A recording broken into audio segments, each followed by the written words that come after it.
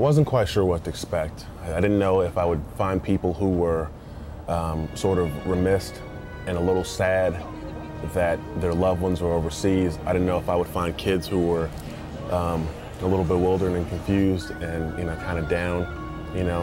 And that's kind of what I thought. I thought I would see a lot of kids who were who were sad and you know looking to have their spirits lifted by you know maybe seeing a Titan, but you know they were you know proud of their parents and everything, but just you know hoping they would come home safe and just really worried. And I didn't find that at all. I mean, you know, they were definitely worried, but you know, these people were, I think, some of the most inspired, most wonderful people I think I've ever met. Kevin Carter.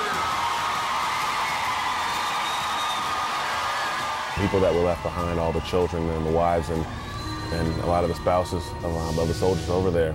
I mean, they were, they were the nicest people in the world, and they were so supportive of their family members. And you know, and they were happy. They were like, you know what, you know, my husband or my father or you know whoever it is, respective person that's over there, is is fighting for our way of life, and I'm so proud of them. I'm so proud that that, that my daddy is the one that's doing this. You know, that's what I heard over and over again.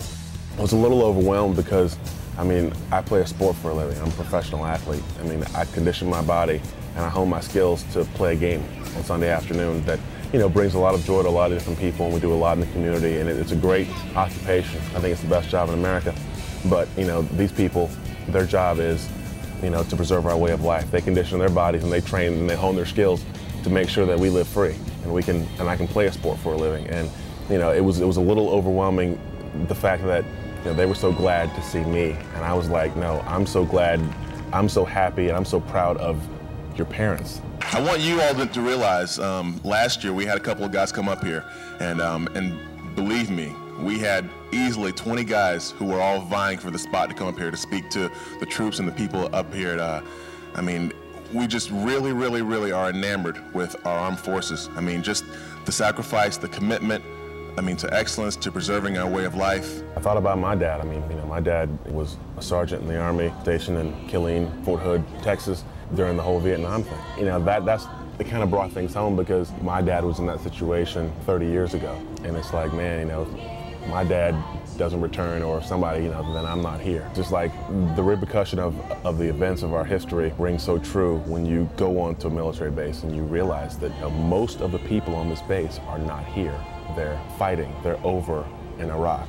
That's why the base seems a little desolate. That's why everyone's spouse is not here because they're entrenched in battle. And that's real.